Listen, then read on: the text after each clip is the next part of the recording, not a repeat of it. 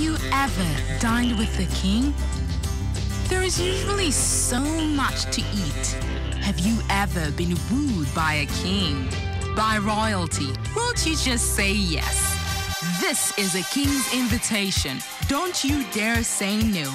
Leave your dreams, experience heaven and earth. Make this trip. Rendezvous spot, the Christ Family Assembly, Word Communication Ministries, Welcome. Number one Faith Drive off Kudati Avenue, Onireke GRA, Ibadan. Dates Sundays at 8 a.m. and Thursdays between 5.30 and 7.30 p.m. for an interactive session of digging deep into the Word of God where you have the opportunity to ask questions. Dress code as you are. You may go on and on and on and on and on. And it seems there is no God. And you are having a field day in your sin, in your wickedness, in your evil. And you are repentant. You seem to be doing it and be prospering. You seem to be doing it and this is well. You are not sick. You even saw people who go to church who pray and they are sick. You, you are doing you are not sick, so you are telling yourself, Hey, it's all fake. Why? Because the patience of God is enduring, giving you an opportunity to repent and turn from wickedness that you might be saved. It's a place to be, belong, and become all you were created to be. Word Communications Ministries welcome experiencing life before death. David said, I was glad when he said unto me, Let us go to the house of the Lord. It's always a joy to be in the house of the Lord. There is a special way, even though we carry his abiding presence, that there's a special way the presence of God comes when we gather in his name. Because he promised it. Thank God He is here with us today. And He will do us good in Jesus' name. This month is our month of redemption. And the theme of total recovery for this month is plenteous redemption. When we talk of redemption, is is all encompassing. I used to have an account when I was in UK every month. Depending on how you run the account, they give you points. I think it's even done by telephone companies. They give you points. And then at a certain time, you can go and redeem your points. When your right comes to you, that's redemption of your right. When you are delivered from the enemy, that's redemption. When you are going through a situation and you are brought out of that situation, that's redemption. I could go on and on. We all need redemption. And in every area of your life where you need redemption this month, redemption is coming your way. This country is God's heritage. No devil is going to take this country. No evil agenda is going to prosper. Let's go to God's word. Our text is Psalm 75. Psalm 75. I will particularly love to read this text from the Good News translation of the Bible. We give thanks to you, O God. We give thanks to you. We proclaim how great you are and tell of the wonderful things you have done. I have set a time for judgment, says God, and I will judge with fairness. Though every living creature tremble and the earth itself be shaken, I will keep his foundation firm. I'll tell the wicked not to be arrogant. I'll tell them to stop their boasting. Judgment does not come from the east or from the west, from the north or from the south. It is God who is the judge, condemning some and acquitting others. The Lord holds a cup in his hand filled with the strong wine of his anger. He pours it out, and all the wicked drink it. They drink it down to the last drop. But I will never stop speaking of God of Jacob or singing praises to him. I love the last verse. He will break the power of the wicked, but the power of the righteous will be increased. Amen. Brethren, hearing and seeing the depth of the wickedness and evil going on in Nigeria today leaves one wondering what really is going on. Many questions go on in our minds. Is Nigeria this weak? So big? So blessed? Are we so weak? Many questions. One is tempted to join Habakkuk in his prayer in Habakkuk chapter 1, verse 13, where Habakkuk said to God, But how can you stand these treacherous evil men, God? Your eyes are too holy to look at evil, and you cannot stand the sight of people doing wrong. So, why are you silent while they destroy people who are more righteous than they are? Habakkuk must have lived at a time that is as trying for Israel as the time we are living in this nation.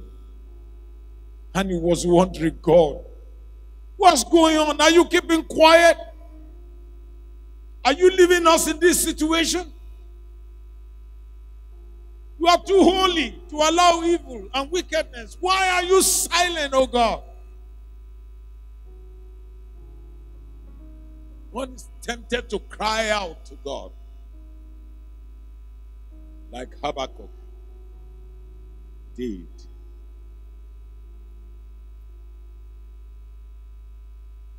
That our experience confirms Psalms, Psalm 127, verse 1. If the Lord does not build a house, the work of the builder is useless. If the Lord does not protect the city, it does no good for sentries to stand guard. I think we have all come to realize right now as Nigerians that even though the greatest assignment of government is security of life and properties, that we thank God that God is alive and well and is the only one who can keep us. God is our sure security. Thank God, this God still answers prayers.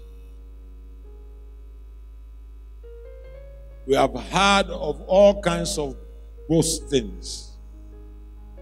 How some people say their tribesmen have been gathered. When this thing started coming out on the social media, it was like a joke. They are going to come from all African countries, their tribesmen, the herdsmen. And they are going to take over our land. They will rape the women, kill the children, take over the land, and subjugate everyone and make them their slaves. They boasted arrogantly. It reminds me in Second Kings chapter 19 how Assyria boasted through Sennacherib, boasting a threat against Israel, a threat of total destruction. He boasted of their exploits, heavily equipped, the greatest army in the world. and when the Almighty will send him, he sent only one soldier. One soldier.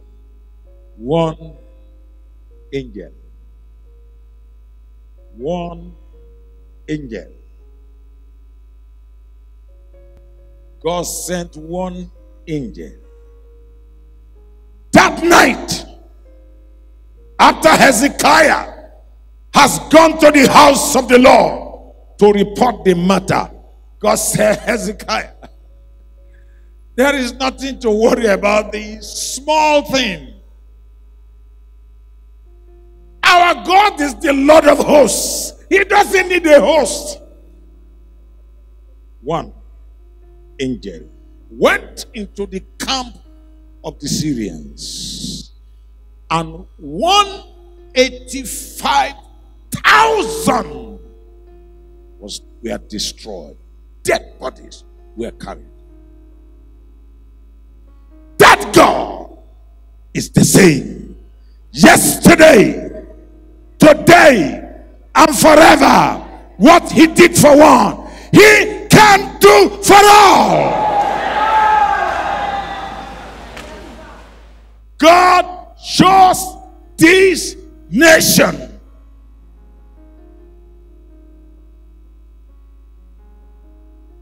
This nation is a type of the Israel of God. And what God did for Israel, He will do again today. He will do for Nigeria.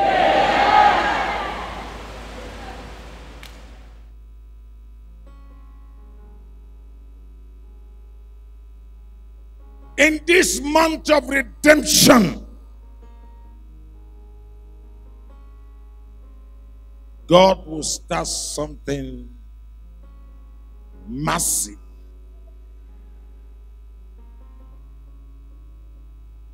And strange to those who don't know God concerning the redemption of our nation.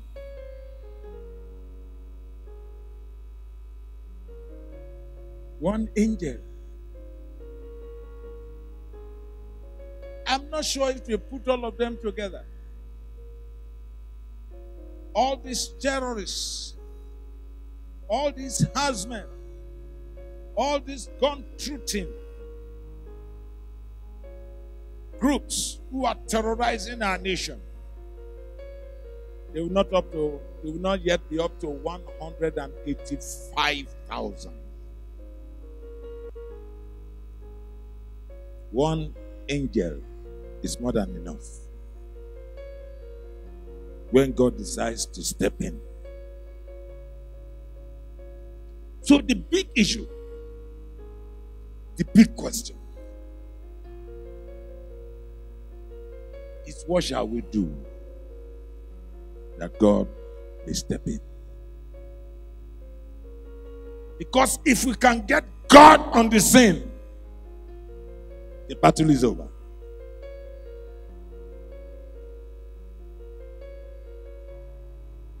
The battle is over. What shall we do? There is nothing new I want to say that you have not heard, or you probably will say, Oh, by the time I say, well, we have done these things,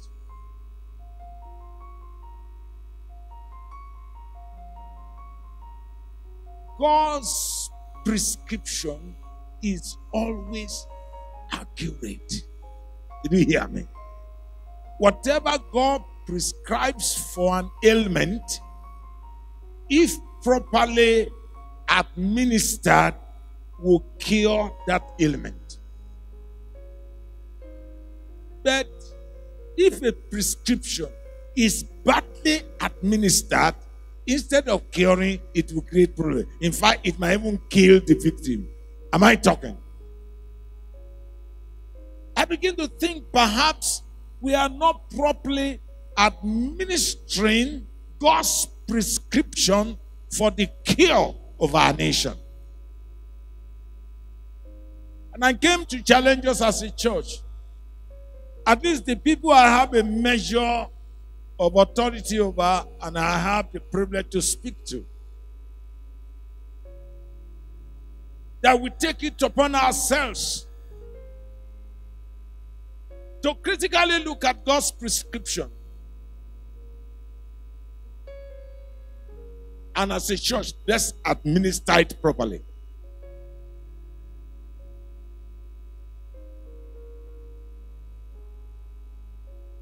The day of crisis in Israel, God didn't wait for the entire nation to do what he wanted.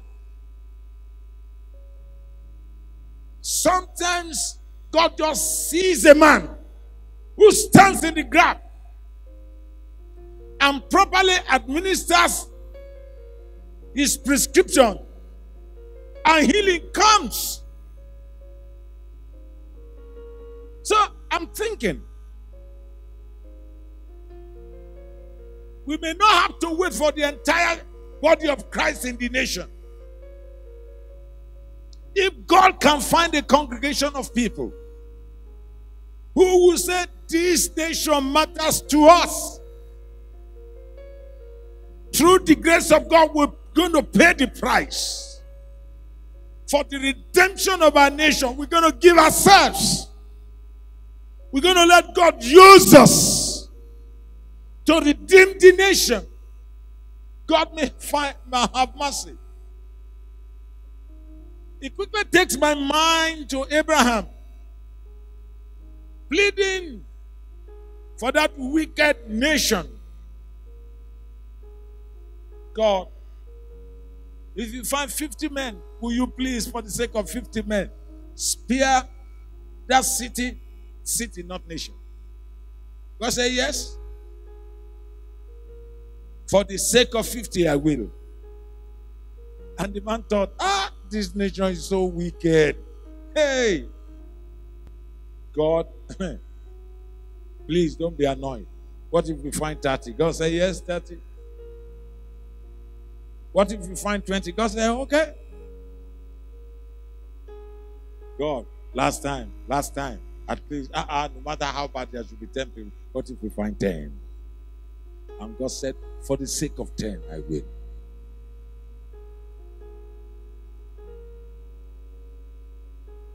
If God will, for the sake of 10, save a city, if probably he was bold enough, knowing that I have at least one brother whom I can trust, negotiated to one, the compassionate God probably will have said, okay, for the sake of that one, I will spare. What I'm saying in essence is it's possible that if God can find us, find the right heart here in this house, a congregation of people that says, for the sake of this country, we will pay the price. Might save us.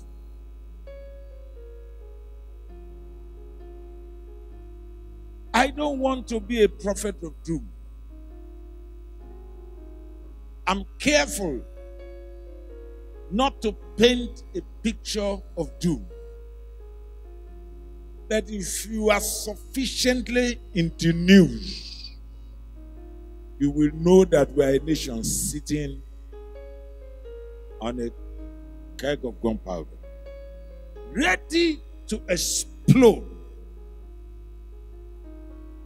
It's like we are surrounded by an army waiting for an instruction from somewhere for them to go on rampage. And when you look at it, it looks like they are being legislated for. They are being supported by the powers that be is fearful. But nothing to be afraid.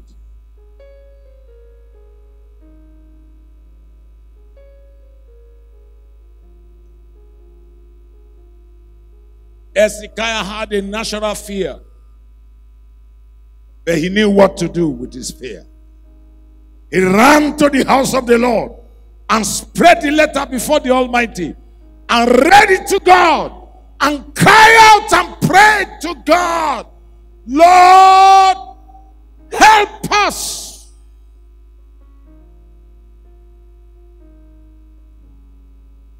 And brethren,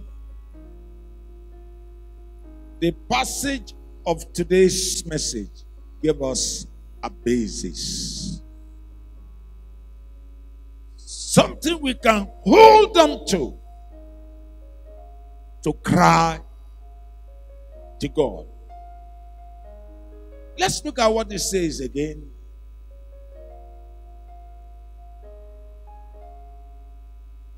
We give thanks, oh God, we give thanks to you.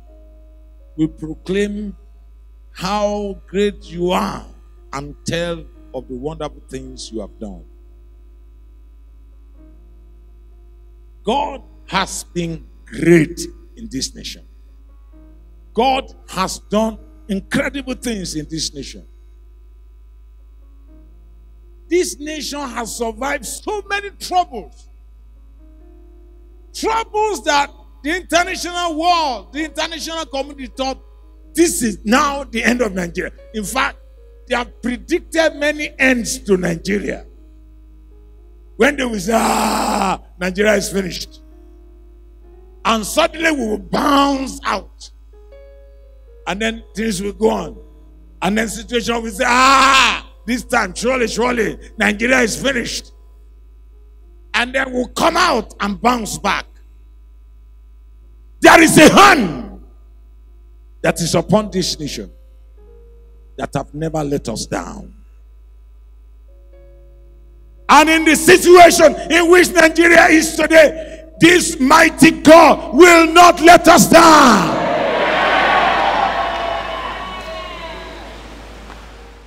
Look, he now said in verse 2 I have set a time for judgment, says God.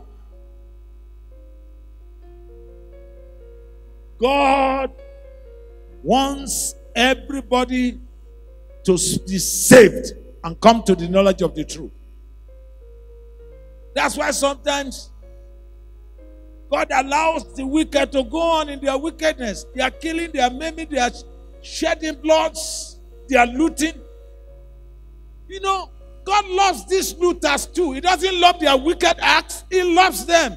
He wants them to be saved. He is not quick to destroy them. And when you look at how it is, it's like it's a whole tribe that is behind this thing.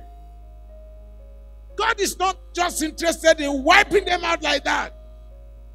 That's why he seems to be slow to bring his judgment. But the patience of the Lord is not going to be forever. It has a set a set day for judgment. And so it is with everyone. You may go on and on and on and on and on and it seems there is no God, and you are having a field day in your sin, in your wickedness, in your evil, and you are repentant, you seem to be doing it and be prospering. You seem to be doing it and this is well. You are not sick. You even saw people who go to church who pray and they are sick. You, you are doing you are not sick, so you are telling yourself, hey, it's all fake. Why? Because the patience of God is enduring, giving you an opportunity to repent and turn from wickedness that you might be saved. God wants this guy to be saved. But, friends, God cannot be taken for granted forever. I don't know why I'm preaching this message this Sunday, but I guess the alarm is ringing now. And the time of judgment is about to begin.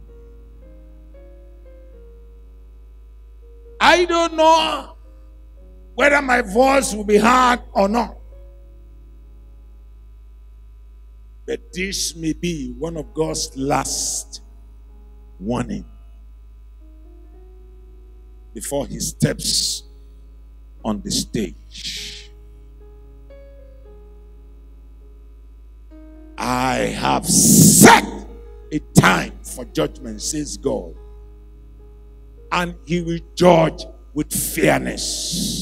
The Christ Family Assembly Word Communication Ministries welcome. Number one Faith Drive off Kudati Avenue, Onireke GRA Ibadan. Dates Sundays at 8 a.m. and Thursdays between 5:30 and 7:30 p.m. for an interactive session of digging deep into the Word of God, where you have the opportunity to ask questions. Dress code as you are. It's a place to be, belong, and become all you were created to be. Word Communications Ministries welcome experiencing life before death.